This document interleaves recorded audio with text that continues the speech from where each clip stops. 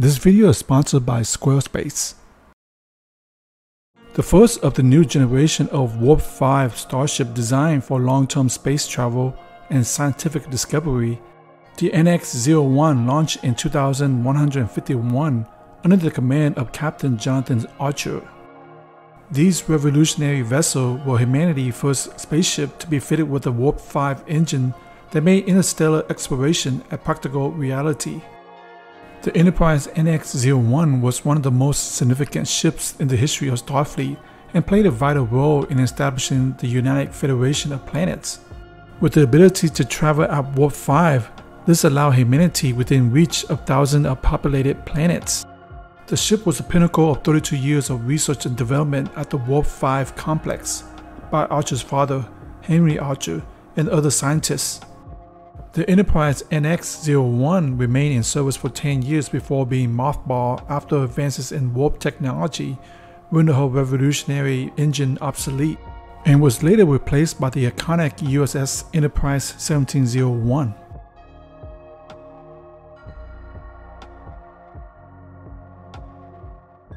Let's start with the Airbus A350, which had a total length of 74 meters or 242 feet and has a height of 17 meters or 56 feet.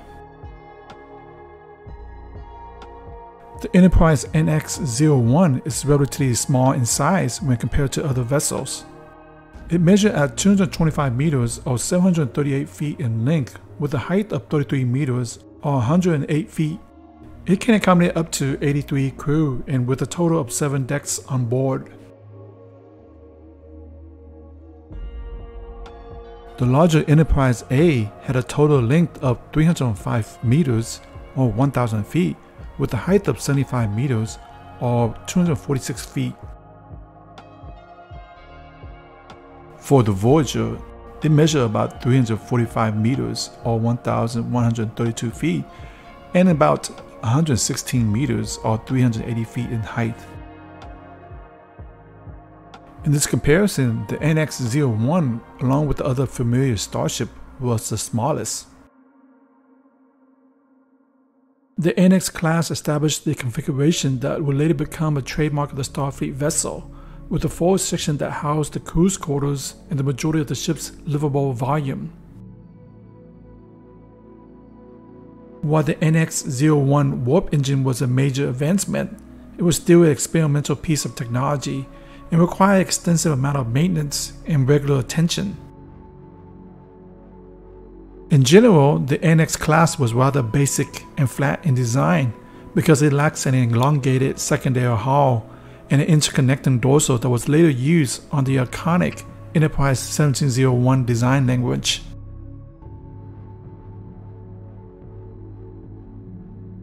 As the series was supposed to be the precursor of Star Trek, the original series, all design to be future has to reflect this, including the configuration of the hero ship that was supposed to be featured in the series, Enterprise NX-01. The front of the saucer section is equipped with a navigational deflector that protects the ship from space dust and other particles that would otherwise cause significant damage to the ship at faster than light speed. Most of the crew's activity take place in the large saucer section. The bridge, the command center of the ship, sit atop of the saucer section. Behind the hull, between the warp nacelles, was a large symmetrical warp governor. This was used to regulate the warp fields to generate by the nacelles, which were typically unequal. The rear section contained the engineering system that was connected to twin warp nacelle, which was supported by pylons to keep them away from the main body of the ship. The double hull, pylons, and warp nacelles are inhabitable and can only be accessed with environmental suit.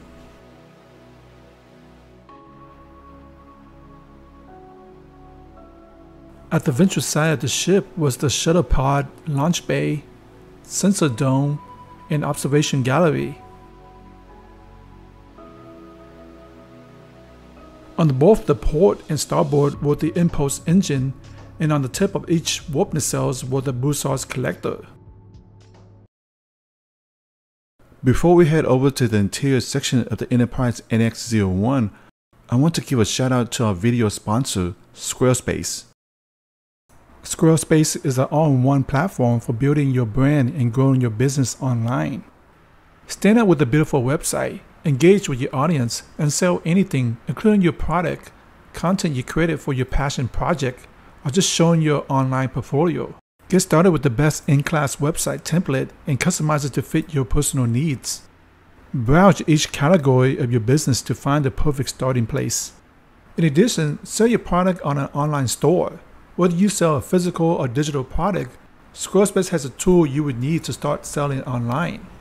Built-in analytics measure the impact of every sent email. Stand out on any inbox with Squarespace email campaign. Collect email subscribers Use analytics for better insight to grow your online business. Improve your website and build a marketing strategy based on your top keywords and most popular product and content. Go to squarespace.com for a free trial, and when you're ready to launch, go to squarespace.com forward slash half screen to save 10% off your first purchase of a website or domain. Now, returning back to the NX01.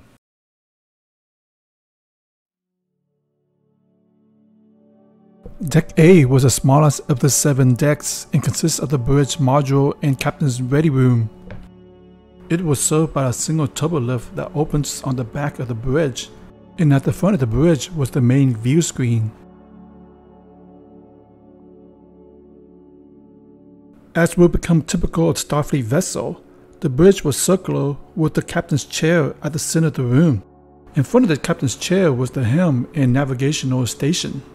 Working clockwise from the turbo lift, there was the science station and communication on the port. Then on the starboard side was the tactical and engineering station. Behind the bridge was the situation room with a tabletop station that was connected to the ship's library computer and the engineering system. The bulkhead in this area incorporate a number of status monitor display and connected to the situation room was the head. The shuttle sensors should have picked it up. They went to visit some monks. Why would they scan for alien ships? It should be standard procedure, that's why. In any event, there it is. There what is? A vessel, not Vulcan, and it's less than one kilometer from our shuttle pod. Not a lot of room on that landing platform. Adjacent to this area was the port side airlock and vertical access hatch, which provided access to the rest of the ship if the turbo lift doesn't work. Deck B was equipped with several onboard science labs and the research center with the vessel primary mission being exploration. The ship is outfitted with an array of equipment to study anything it might encounter in its travel, which also include the stellar cartography lab, the physical cosmology lab, weapons locker, and the refueling bay airlock. Toward the back was the aft dorsal phaser cannons, a secondary research lab, and two first stage plasma accelerator on the upper level. At the center of Deck B was the computer core, an emergency power station, the access corridor, and two deuterium tanks located on both the port and starboard. Located on the front section was the two airlock and two water storage tanks. A vital function to the crew's health and morale, the recreational area of the ship was located in the forward section of Deck C, which includes the water storage tanks at the tip. It features a fitness equipment, exercise space, locker room, and game room. The main computer core for the NX-01 was a cylindrical structure occupying the central area of Deck B, C, and D. It's responsible for maintaining the ship's system and archiving data accumulating during the vessel's mission. Located near the computer core is the computer library, an engineering lab, a fabrication bay, and an equipment and weapons locker room. Further back was the lower level first stage plasma accelerator, warp plasma transfer conduit, and the warp control processor. One of the most important systems on board is the waste processing system. The redundant processing system maintains the waste system for the entire vessel, which includes the waste water recycling system and the water waste matter holding tanks. The majority of the living quarters were on Deck D, where the main engineering was located. It also included the enlisted officers' quarters, the enlisted officers' bathroom area, and the junior officers' quarter, which was located on the outer section of the ship. The matter and energy conversion transportation system or transporter was located in the aft section of Deck D with a max capacity of 6 people. The NX-01 was also outfitted with a command center to help plan, maintain, and execute current missions for the ships and crew, which was also equipped with its own dedicated computer interface and system. All warp drive function are controlled from main engineering, and directly adjoining this compartment was the antimatter injector, gravimetric field displacement manifold, and the reactor waste processing bay. Toward the front were the additional water storage tanks, and on the midsection were the cargo bay and the life support system.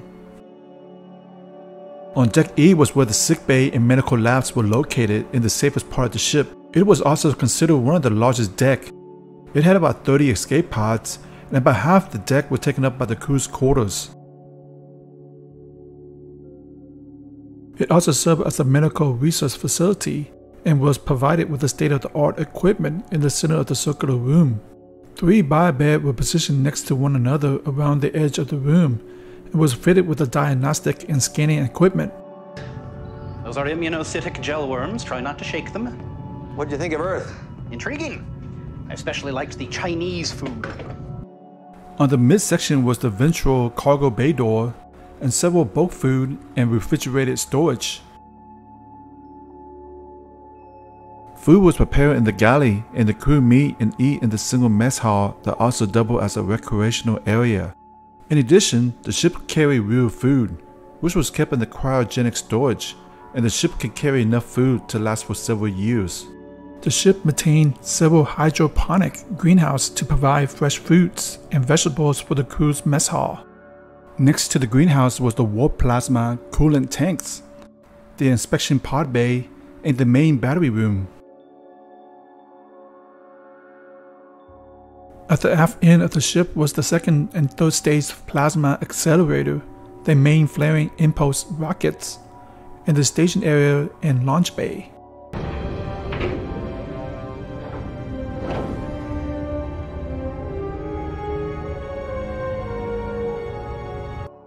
The impulse rocket was the primary propulsion system for the NX-01 at sublight speed and was also responsible for the major ship's maneuver and power generation.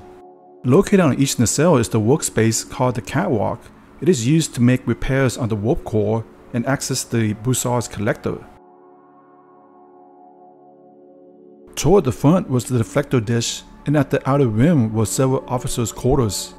At the forward port section was the engineering quarters with its own private bath and computer access to all engineering systems.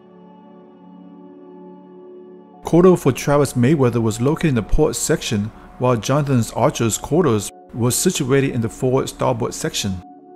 On Deck F, the NX-01 was equipped with four armory room, two forward primary, and two aft secondary. Each weapon room was outfitted with a tube capable of launching photonic torpedoes. The torpedoes storage facility, warhead storage magazine, main weapons locker, and the weapons analysis lab were also located in this section. The NX-01 was equipped with a fortified brig, an antimatter storage pods, and an antimatter monitoring station in the F section of Deck F. At the center housed a small group of Marine Command operative, which was used in security, training, and military mission.